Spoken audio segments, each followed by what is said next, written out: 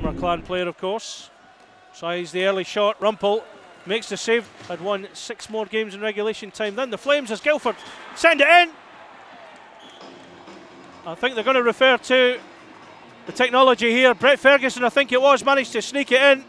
Now King. It's a second goal. It's Waters.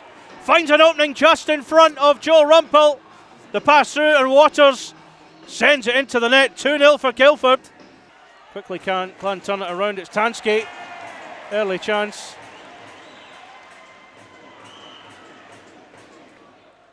Waters slapped away by Rumpel. Making a bit of a tussle, but Pitt picks it up now for the Clan. Inside. The chance from Stupka. And the block denies him.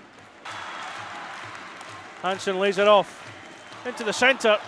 And I think it landed underneath Fullerton and made a full stop. Kruise Reddick inside to Davis.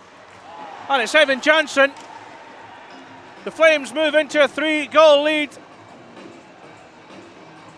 Kruise Reddick and Ben Davis playing their part as Jansen found space.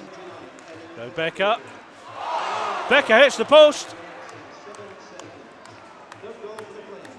That was a chance for the Glasgow clan there. Matt Beca. Wilson. Follow up chance.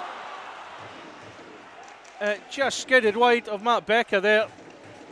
That was a chance down the left. Things really step up a notch here. Sullivan fires in. Fullerton, it goes loose. Bit of a scramble. Fullerton is flat out on the ice. Bounces nicely for him. Beca in support. Pitt tries it himself. Clan really going for it here. Almost like a power play situation. Beca at the angle. Just can't convert it. And Flames have it.